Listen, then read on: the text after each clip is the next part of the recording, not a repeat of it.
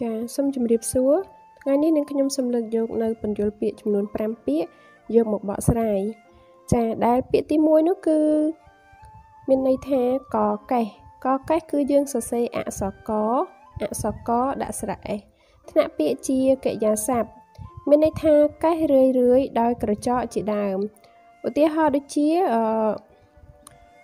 យើងប្រើកញ្ចក់អញ្ចឹងកេះ ដូចទៅកេះតបៅអញ្ចឹងយើងចេះលមាស់យើងកេះកេះកេះកេះហ្នឹងគេហៅថាកកេះចាកកេះគឺនិយាយបានពីរយ៉ាងចា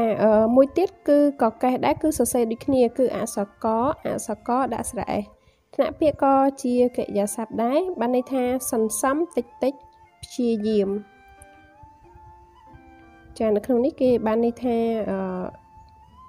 យើងព្យាយាមសំអីមួយ បន្តិចបន្តិចបន្តិចហ្នឹងគឺដូចជាសំលុយឬសំរបស់មួយអញ្ចឹងគេហៅថាកកេះដែរ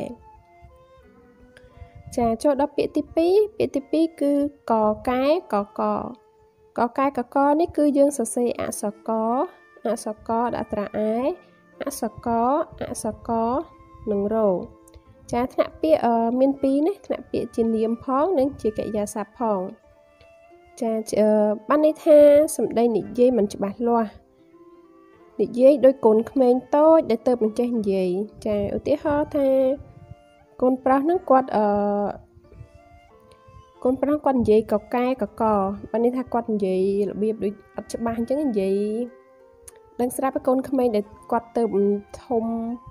គាត់មិនទាន់ចេះនិយាយច្បាស់គាត់និយាយរបៀបអឺដែលខ្មែរយើងនិយាយថានិយាយបៃឡាំបៃឡាំតាមពិតពាក្យគឺកកែកកចានិយាយអត់ច្បាស់ទេ ចាចូលដល់ពាក្យទី3ចាពាក្យទី3គឺកកែកកកោកចាកកែកកោកនេះគឺយើងសរសេរអក្សរកអក្សរកដាក់ស្រៈអែនិងក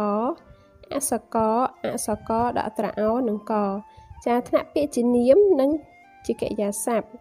គឺមានន័យថាសម្ដីនិយាយគ្នាឮសូរកោកកោកច្រើនដង ចាអញ្ចឹងមិនថានិយាយកោកកោកនិយាយលឺលឺហ្មងហើយនិយាយច្រើនដងនិយាយរបៀបថា ឮទៅសលេងកោកកោកកោកមកអញ្ចឹងនឹងឲ្យគេហៅថាពាក្យខ្មែរយើងគឺកកែកកកោកចាចូលដល់ពាក្យទី4ចាពាក្យទី4គឺពាក្យកកែងកកោងចាកកែងកកោងនេះគឺយើងសរសេរអក្សរកអក្សរកដាក់ស្រៈអែនិងងអក្សរកអក្សរកដាក់ស្រៈអោនិងងចាថ្នាក់ពាក្យជានាមផងនិងជាគុណនាមផង ចាបានន័យថាគឺជាកិរិយាពុំគប់3កោងប្រហើនឥតមានលំអ៊ុតលំអោនបានន័យថាអឺបើនិយាយថាកិរិយានឹងអត់គប់3គឺបើនិយាយទៅគេហៅថាឆ្លើយភាសាសាមញ្ញនិយាយថាឆ្លើយវាថាគាត់កោងកលែងកោងឲ្យប្រហើនអត់មានលំអិតលំអោនអត់មានគ្រប់ចាស់គ្រប់ទុំមិនទេអត់មានគ្រប់ចាស់ទុំមិនទេគាត់ចង់ធ្វើអីធ្វើនឹងរបៀបដូចថាគាត់ អត់មានសិលធម៌នៅក្នុងខ្លួននិយាយចាំទៅគឺថាឆ្លើយអញ្ចឹងណានឹងពាក្យខ្មែរយើងអាចនិយាយម្យ៉ាងទៀតថាកកែងកកោងចាពាក្យចុងក្រោយ គឺពាក្យទី5ពាក្យទី5នេះគឺកកែបចាកកែបនេះគឺយើងសរសេរអក្សរកអក្សរកដាក់ស្រៈអែនិងបចាថ្នាក់ពាក្យជានាមបានន័យថាជាអវយវៈសត្វចតុបាទពួកខ្លះនៅត្រង់គុណលៈកែងជើង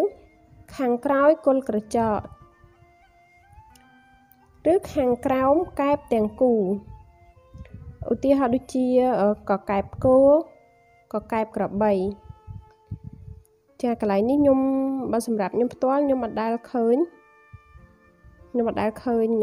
ព្រោះខ្ញុំអត់ដែលចិញ្ចឹមគោដល់ពេលអញ្ចឹងខ្ញុំអត់ដែលបានឃើញពីកកែបគោនឹងដែរប៉ុន្តែកន្លែងពន្យល់ពាក្យយើងបានន័យថាគឺស្ថិតនៅត្រង់កលៈកែងជើងស្ថិតនៅត្រង់កលៈកែងជើងសត្វទាំងអស់ហ្នឹងចាអញ្ចឹងសម្រាប់វីដេអូនេះគឺខ្ញុំសូមលើកយកតែ5ពាក្យនេះទេ ចាអញ្ចឹងសូមអរគុណសម្រាប់ការស្ដាប់និងទស្សនានៅវីដេអូមួយនេះបើសិនជាពេញចិត្តសូមកុំភ្លេចជួយចុច like Subscribe ផងចាសូមអរគុណ